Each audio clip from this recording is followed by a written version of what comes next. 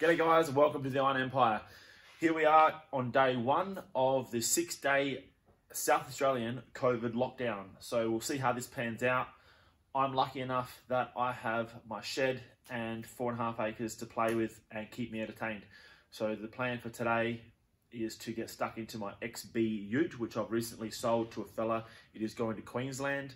I need to do a few things to that.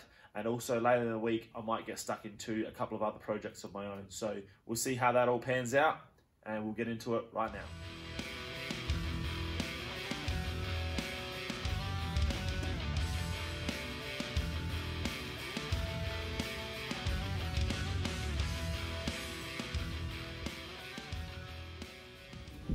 Righto, the camera went dead right when I was bringing the car in. So uh, I had to tow this up into the paddock and then roll it into the shed because it's running like a dog. So first point of call is the 750 double pumper, which came off of my car from home, is coming off because that was only put in there temporarily to get this thing running. And I'm gonna raid the 600 off my VG because it's just a vac um, Holley 600 and I've got like heaps of them and I'm not going to be able to re rebuild it this week because COVID. So I'll pull that off because obviously that's not going to see the road anytime soon. That'll go on, it should fire straight up and be sweet. And uh, aside from a little bit of timing, this thing's pretty right to go. Cosmetically, the grill has to be swapped over and so tonight, I'm not sure how far I'll get. It's I've spent most of the day farting around, watering lawns and stuff, so I'm sort of already out of uh, motivation. But I'll probably spray all the bolts and everything, so they're going to come come out nice and easy because I've got to pull the bar off. So that'll be swapped over, and I've got to swap the wheels over because I want to keep the 12 slots there, and I've got a set of just standard 14 inch steel rims that are going to be going with the car, but with a set of good tyres so that the car can be used and put on the road. That's the plan, so we'll get stuck into that now.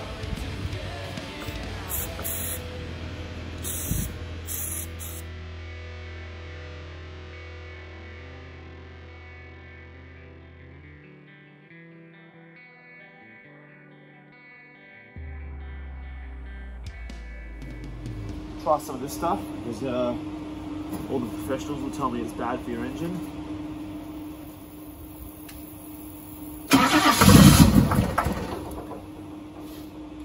All right, sweet. The ignition system's still all good. So we know that it's going to run. And we know that it uh, was probably in gear. All right, I'm going to slap this carby on and see how we go.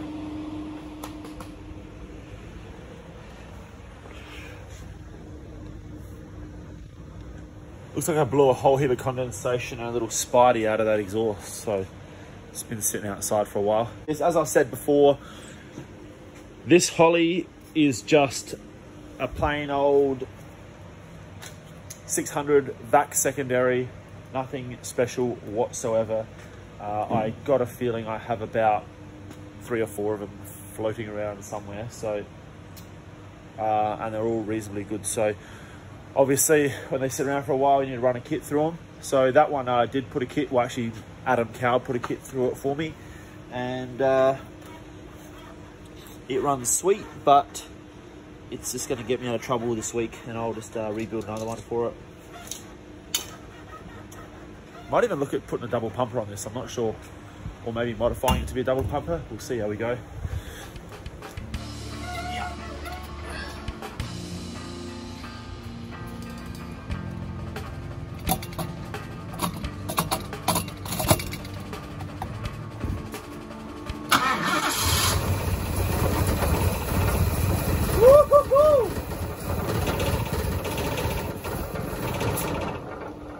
sweet. This thing's been sit for months.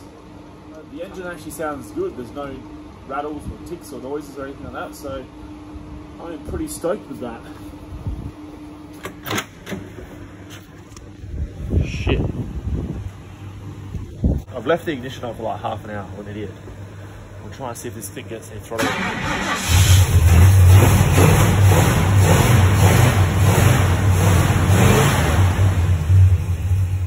That is honestly better than it has ever run.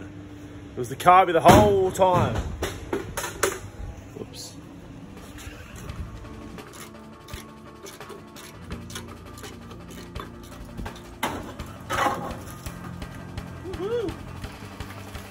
Righto, uh, second day farting around with the XB.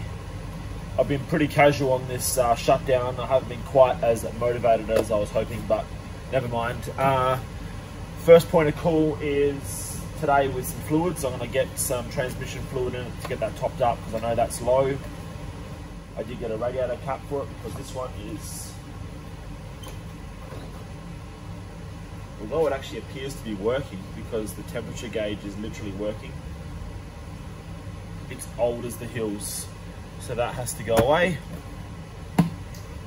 And I bought a pump. I got one of these uh, hand pumps so I can pump the transmission, transmission fluid straight in. And I actually had a pump that used to go straight into the um, bottles of these things, but I found that the thread hardly ever matches up to the bottles anyway. Um, so I mean, this one obviously you've got to fill the bottle first, which is kind of annoying, but at least I guess you know where you're at. You can see how much you're using every time. So pros and cons to both of those options, but I'm going to get stuck into this now and then go rip out that grill that I've been talking about and hopefully if that goes smooth, we'll get that in there today as well.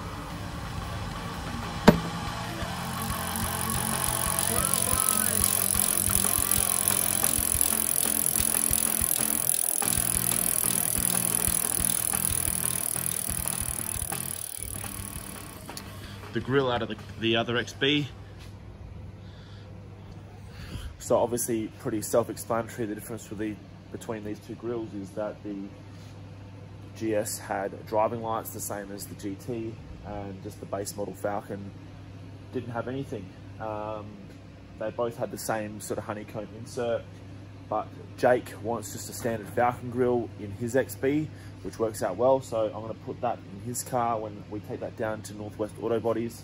And this grill is going to be going in this car and sent off. So my goal for today, um, which is the last day of lockdown because we ended up getting it cut short very early. It didn't end up even reaching six days, is to get this grill in and the driving lights in. And pretty much that's it that's it for today. I want to get home. I want to work on some merch because I've been super slack getting uh, some merch ready for you guys. I've just had my basic Iron Empire logo, but I really want to work on some uh, new designs and I've been putting it off and I've basically been slack. So the goal today is to get this in and then shoot down home and get stuck into that and hopefully have some stuff done before Christmas because I've left it too a little too late. So fingers crossed that all happens. Um, so yeah, let's get this in and see how far along we get.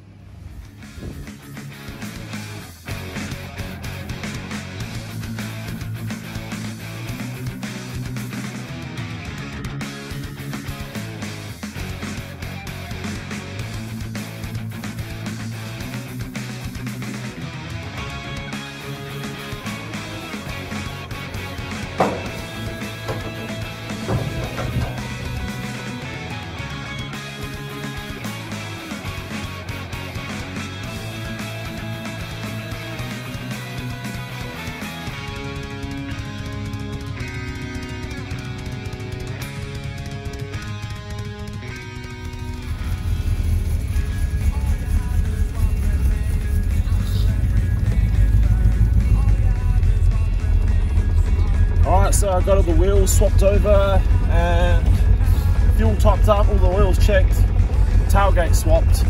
All that's left to do is to remove this passenger seat and uh, yeah, basically give it a bit of a vacuum out, load her up, she's ready to roll. But uh, I thought it'd be a good chance to test it out. Got to go to turn the pump on so I can water the lawns, country living. So I thought I'd take the ute, see how it rolls.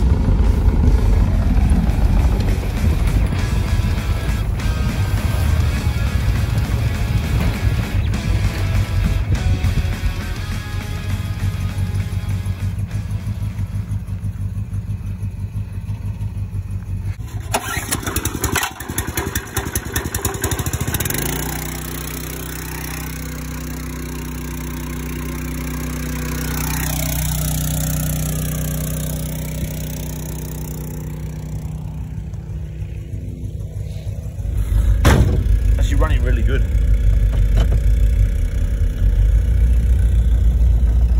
But it hasn't been paddock proven yet.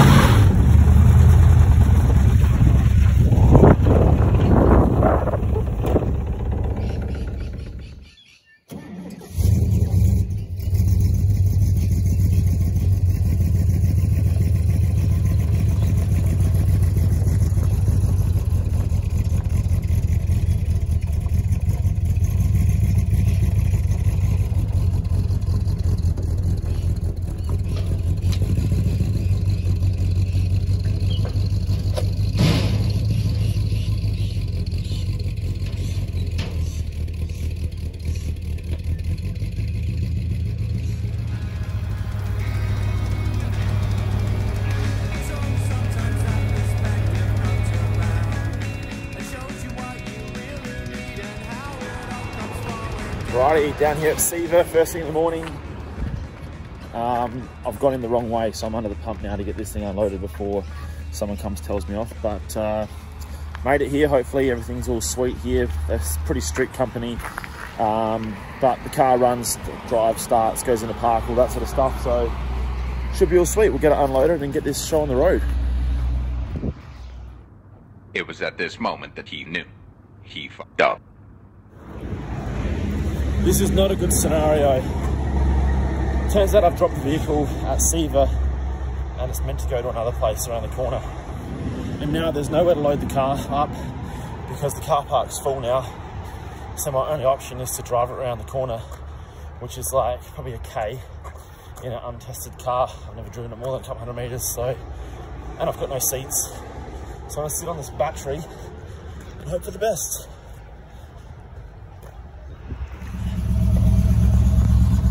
Worst.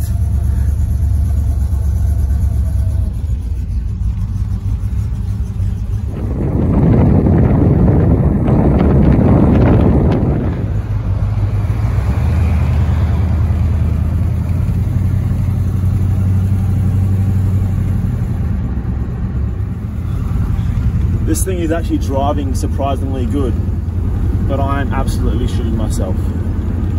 I haven't even got a seatbelt to throw over my shoulder.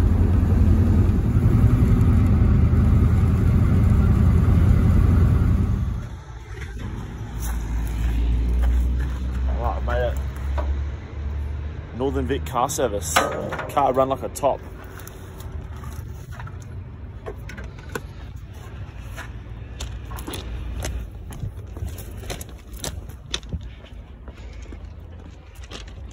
All right, that wraps up this episode of the Iron Empire.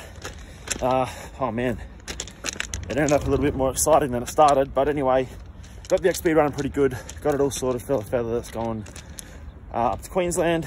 So it should be a good project to see uh, evolve into something pretty good. Anyway, I've got a uh, couple of K walk ahead of me now. And it's about 40 today, so good times. I'll see you on the next episode. Cheers, guys.